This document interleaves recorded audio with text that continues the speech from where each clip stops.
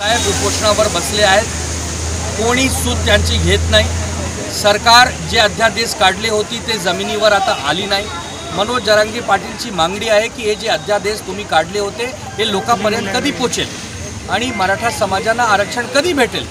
या एक महत्त्वाचा विषय घेऊन मरण मनोज जरांगे पाटील अनशनावर बसले आहे ते अस्वस्थ आहे. त्यांचे व्ही पी वाढला होता.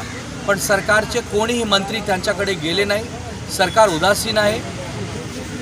आम्हाला असा माहिती आहे की सरकारच्या सरकारला काय घेणं देणं नाही मनोज जरांगे पाटील आणि आंदोलन झट.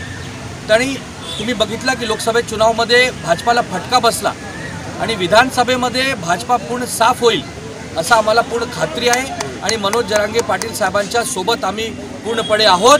त्यांची माग जायज आहे. मराठा समाजानं आरक्षण भेटला पाहिजे आणि सरकारने अध्यादेश लावून एक चुना लावायचं काम केलं आहे का? हे सरकारनं स्पष्ट केलं पाहिजे. सर आपण एक पत्र लिहिलं आहे. प्रधानमंत्री ते काय आहे? पत्र असं आहे की भारत पाकिस्तानचे जे मॅच आहे ते तुरंत बंद व्हायला पाहिजे. आम्हाला मॅच खेळायची काही इच्छा नाही पाकिस्तानसोबत पाकिस्तानचे लोक आमच्या देशामध्ये आतंकवादीला पाठ पाठवतात. आमचे लोक मरतात आमचे जवान शहीद होतात आणि आम्ही त्यांच्यासोबत मॅच खेळायच्या. हे मॅच खेळायची काही गरज नाही.